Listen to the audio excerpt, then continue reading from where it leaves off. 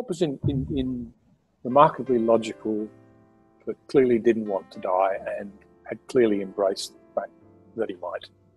And this was as close as he'd ever been to dying. I mean, we all, apart from Bob, everybody came away from that climb with some kind of post-traumatic stress disorder, you know, of one kind or another. Hmm. And that's the last thing I remember. Um, uh, I know afterwards that I cartwheeled past him, and I know that Bob landed in a very deep snowdrift and post-holed himself up to his chest just about wet snow. And I went straight past him on the end of a 150 feet of rope and into a crevasse and fell, mm. you know, at least 100 feet into a crevasse. Jeez. And I must have bounced off the sides a few times as I went in.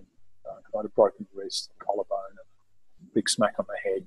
Um, I eventually woke up upside down, um, counterweight with my pack, you know, turned me, inverted me.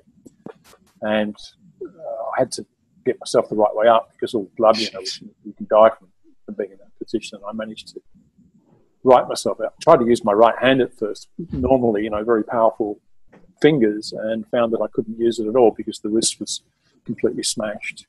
I managed to do it with my left hand and by using my ice axe just to pivot myself around.